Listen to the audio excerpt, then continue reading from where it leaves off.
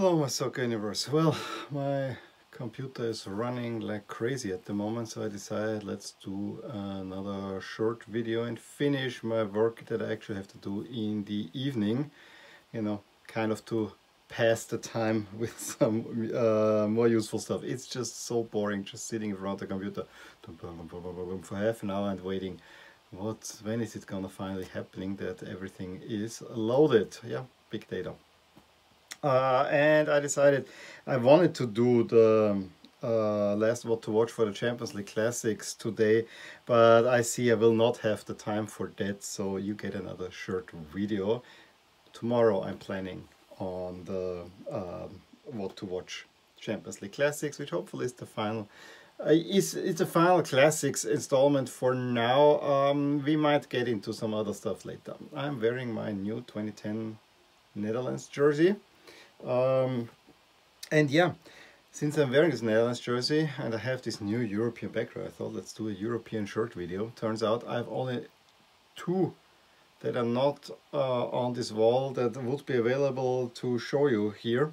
Otherwise I pull it down from a wall. There are eight on these walls up there that I have not talked about.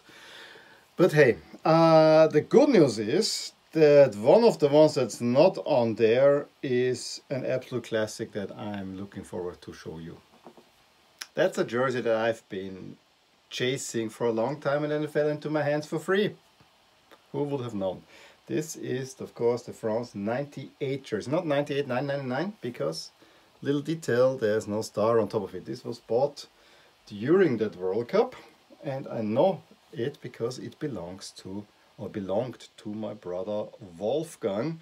That's why it's only an M, which actually now when I wear it today, I'm an XL. If I wear this M, it actually doesn't look like it's tight on me. It actually looks like a more modern fit. Who would have known that this is the case with these jerseys? So uh, that I find highly interesting. Um, it's a jersey. Back, the, back, in day, I thought I don't need to get this jersey because I already had a France jersey. That one up here from the 96 uh, euros, which I at the time thought this is the most beautiful France jersey ever. Uh, you know, as time passes, I have to say this one here clearly entered the pantheon of classic France jerseys. I also have, have to say that I like the 2000 one then much better, which was my second one. So uh, at the time, I was not really too much into getting this one. In addition, I have to say when I saw this one, when the new jerseys for the 98 World Cup were released, I was actually quite disappointed for the lack of originality. I was waiting that um, Adidas is gonna put out a new uh, great design, blah blah.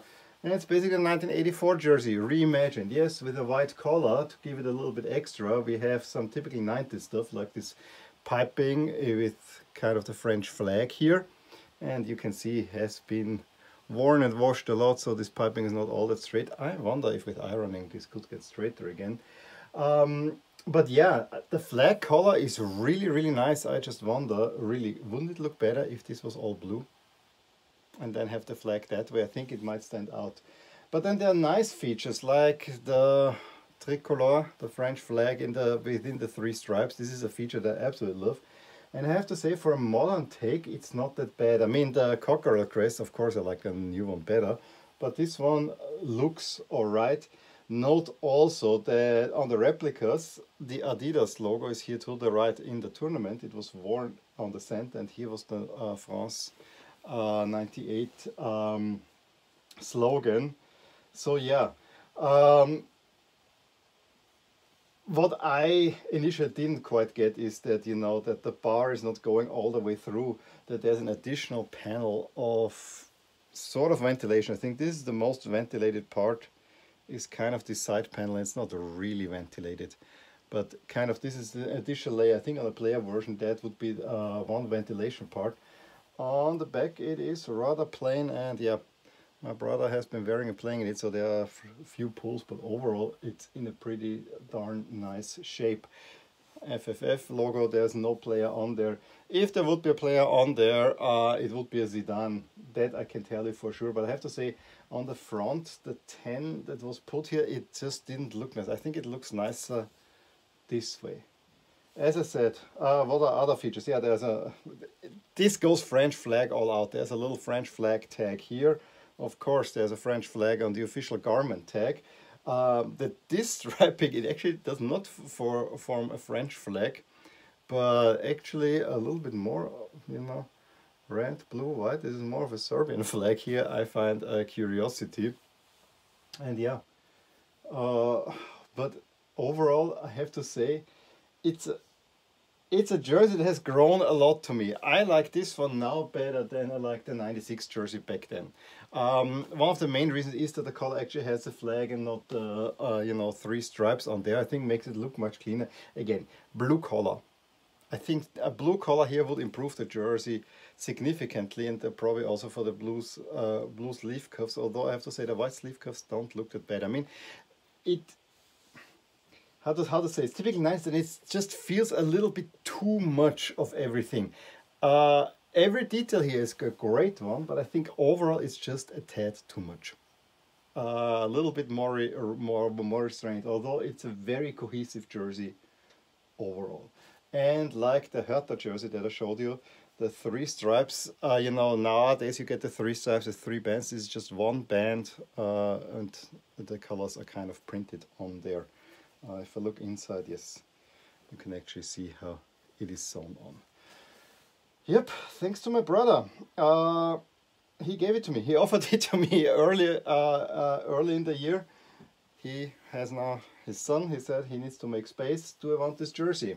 and some other really nice jerseys. This one was, was the one where I said, oh yes, because I've been looking to get, I would have even gotten a remake almost, uh, because this is a jersey I really wanted and I knew that he had it, but I always thought, yeah, this is his jersey. I'm not gonna bug him with that. Well, maybe I should have, I might have gotten it sooner. It's an absolute beauty, it's in great condition. And as I said, um, even for a medium, in modern times it actually provides a pretty good fit. So yeah, let me know what you think about this jersey. Any memories attached to it, of course.